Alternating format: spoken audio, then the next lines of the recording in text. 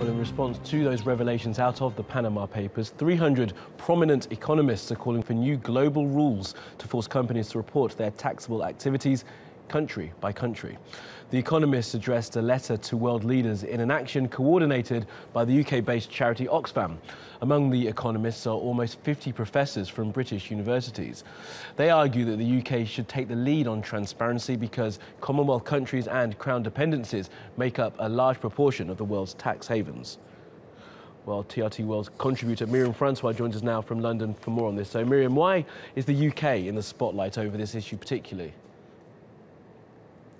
Well, um, a lot of countries, uh, indeed in the wake of the Panama Papers, as we just heard, are in the spotlight. Uh, but on Thursday, the UK is to host an anti-corruption summit.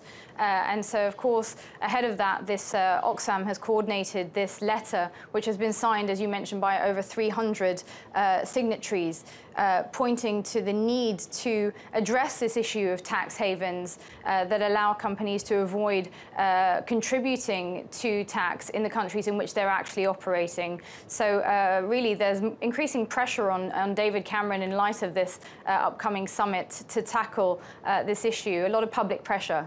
Absolutely. And some of the uh, economists who signed this letter, we mentioned future professors, but there are also some rock star economists, as they call people like Thomas Piketty, are behind this. Do you think we're seeing a moment here for uh, these kind of things to be really tackled properly?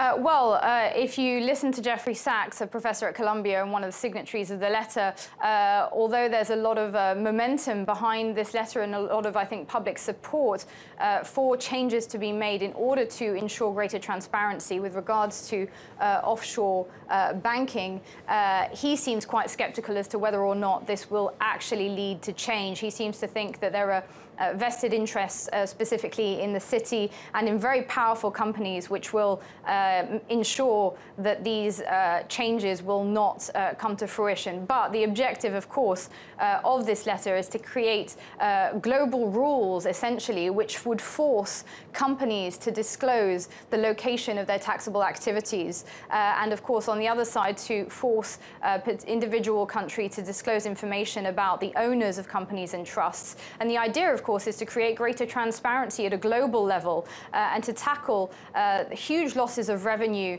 for individual countries. I mean, the Oxfam report uh, points to 14 billion lost by Africa, enough to fund healthcare and education on the continent. So significant uh, stakes, really. Absolutely. Well, Myriam, now, uh, thank you from London.